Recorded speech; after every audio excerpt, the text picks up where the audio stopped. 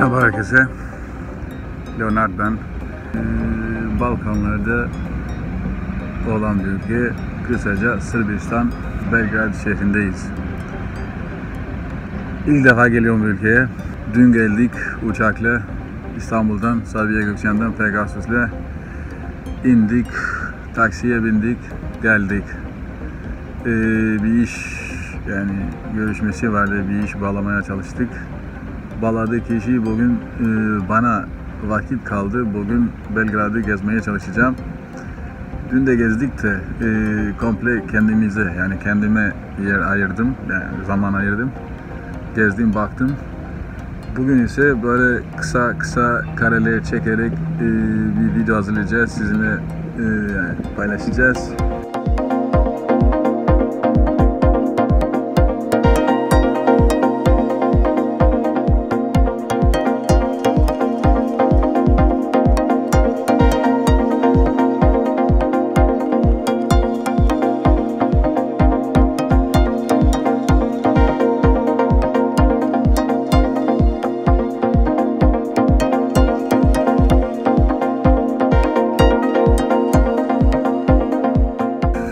Güzel bir ülke. Yani eski böyle şey Sovyet yani Sovyet Rus mimarisi var. Ee, çok büyük değil emin değilim ama 2 milyon 3 milyon öyle bir nüfus var onu e, araştırıp e, daha güzel söylemeye çalışacağım derken işte dün gittik şehir merkezine. Ee, yine merkezdeyiz de birazcık uzak o ana merkezden. Orada bir yol vardı. Nikola Kzem öyle bir şey. Bulvar. Ee, bayağı bir kalabalıktı dün akşam. Orada mağazalar, kafeler, restoranlar bir şeyler bir şeyler vardı. Sonra hükümet binaları yani birkaç bina gördüğümde e, ne olduğunu bilmiyorum. Hükümet binalara benziyor. Onları bugün göstermeye çalışacağız. Yani en çok dikkatimi çeken yani İstanbul sıcak ama güzel, hoş bir sıcaklık var. Bir buraya geldik yandık ana satayım. Çok sıcak. Şimdi de daha saat 9 olmadı. Ee, bir yerde kahve içtim, oturdum. Orada birazcık esiyordu ve şu an yanıyorum. O biçim sıcak. Anlamadım. Ben bu ülkeyi daha serin bekliyordum. Çok sıcak.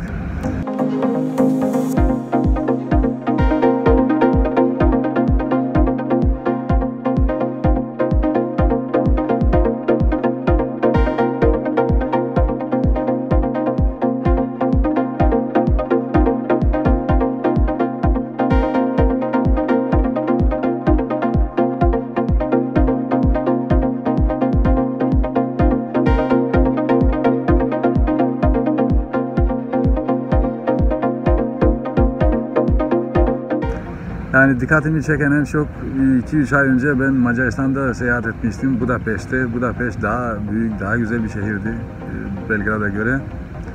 Ve fiyatlar neredeyse burayla göre yarı yarı fiyatlar.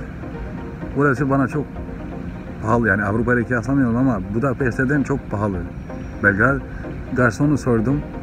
Abicim hayırdır niye bu kadar pahalı? Ee, abicim diyor burası şehir merkezi. Yani hep böyle mi dedim? Yani şehir merkezinde böyle, Belgrad genelde böyle dedi ama başka şehirlerde mesela kahve içtim bir buçuk euro espresso.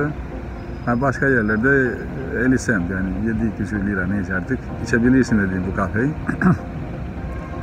yani o şekilde yemek yedik. Baya bir koyduk biraz.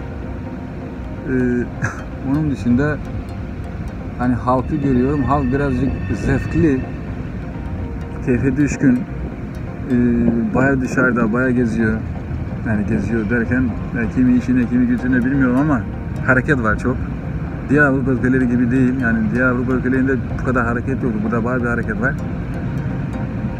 Ee, özel bir yemek falan yani deneme şansım olmadı. Bugün bakacağım eğer denersek göstereceğim sizinle. Ee, şimdi bilmiyoruz biz rastgele bir arkadaş da var otelde yatıyor şu an. Yani biz deyince iki kişiyiz. Rastgele yürüyoruz. Hay görünce e, göstermeye çalışacağım. Kısaca Belgrad. Gezelim hep birlikte. Hani fazla konuşmayayım. E, video çekeceğim.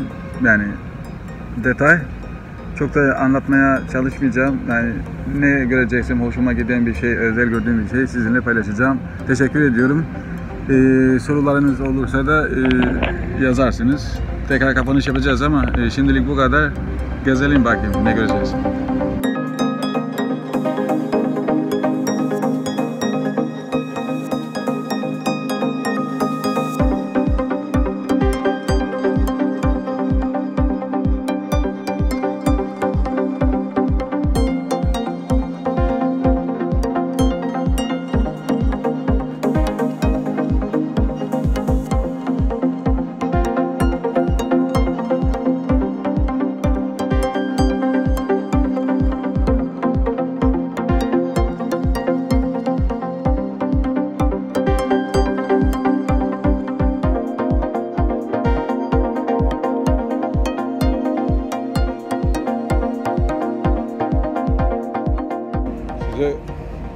Kaldığımız yeri de göstereceğim. Airbnb diye bir aplikasyon var. Yani gittikçe popüler oluyor. Oradan baktık, e, kontrol ettik yeri. Şimdi ben dışarıya çıktım. Orada burada güzel bir bina var böyle. Otel. Otel Savamala. Otel Belgrad. Her neyse. E, Airbnb'de e, iki kişiyiz. E, apartman bulduk. Vergilerle birlikte 900 lira tuttu. Çünkü direkt aplikasyondan ödedik, lirayla ödedik. Ee, geldik dün burada. Şeyle WhatsApp numarasını bulduk. Sahibiyle konuştuk. Geldi anahtarı getirdi. Kayıt oluşturdu. Sonra da e, işte kaldık. Yani şirin bir apartman ama çok da şey değil yani otelde kalmak daha mantıklı olacakmış gibi geliyor bana.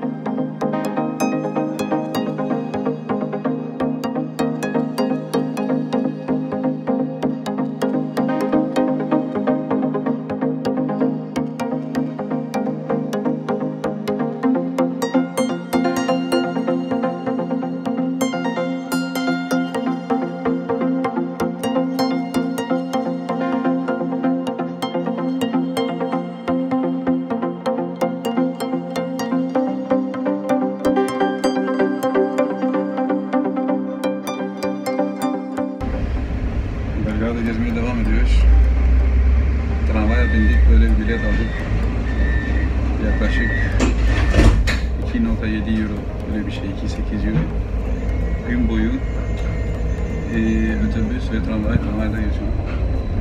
Tramvayda kullanabilirmişiz. İnişte böyle bir cihaz var. Şurada nerede? Şu cihaz. Bizi gördü. Biz basmadık tabii geldik böyle. Sonra ötüyor, öte öte. Fark ettik biz bastık oraya. Bastık oraya.